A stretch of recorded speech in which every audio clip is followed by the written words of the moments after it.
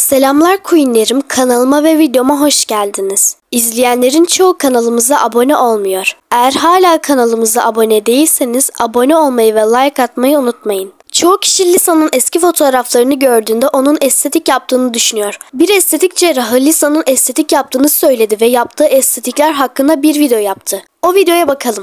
Manaban. I think she had upper eyelid surgery, outer corners cut, a rhinoplasty, a lip lift, and a chin implant. Yani adam doğru söylüyor, hoş söylüyor da adamın baktığı fotoğraf şop.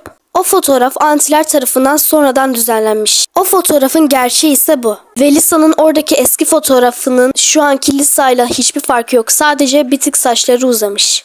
Adam keşke hemen bilip bilmeden video çekmeseydi. Yani biraz araştırsaydı. Belki bu video yüzünden birçok kişi Lisa'nın gerçekten estetik yaptığını sanabilir. Neyse sizin bu konu hakkındaki düşüncelerinizi merak ediyorum. Yorumlara yazmayı ve like atmayı unutmayın. Hoşçakalın.